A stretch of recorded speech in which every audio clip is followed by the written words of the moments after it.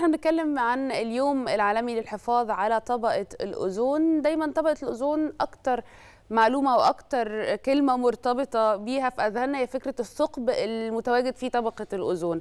خلينا نعرف من حضرتك دلوقتي إيه الحالة اللي وصل إليها في هذا الوقت الحالي وأهمية أصلا طبقة الأوزون بالنسبة للأرض.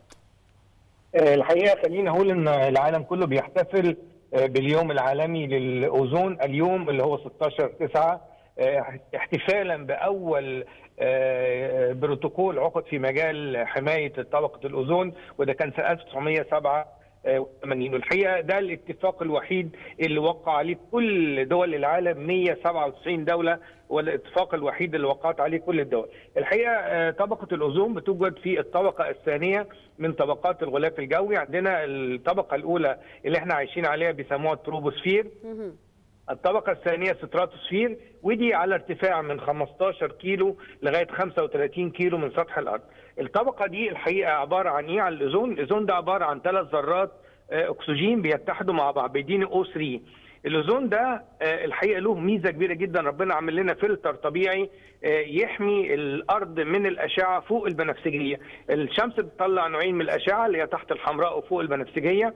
التحت الحمراء اللي هي بتسبب لنا الدفء والضوء. التحت البنفسجية فوق البنفسجية دي أشعة ضارة جدا بتسبب السرطان بتسبب عمى بتسبب تغيرات وراثية عنيفة. لو الإنسان تعرض لمثل هذه الأشعة عشان كده ربنا عامل لنا هذا الفلتر الطبيعي.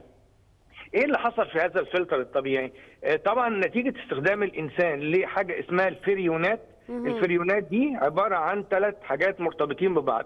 فريون اللي هو فلور وكلور وكربون. واحيانا البروم واحيانا اليود.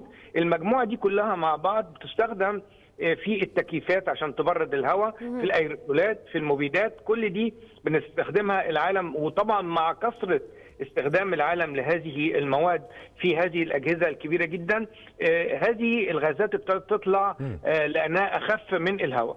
فلقت طبقة الأوزون فوق فابتدت آه من صفات هذه المواد إن هي تتفاعل مع طبقة الأوزون فابتدت تاكلها وعشان كده سببت ما يسمى مجازا بثقب الأوزون وتخلخل طبقة الأوزون. هو ده اللي حصل في مشكلة الأوزون.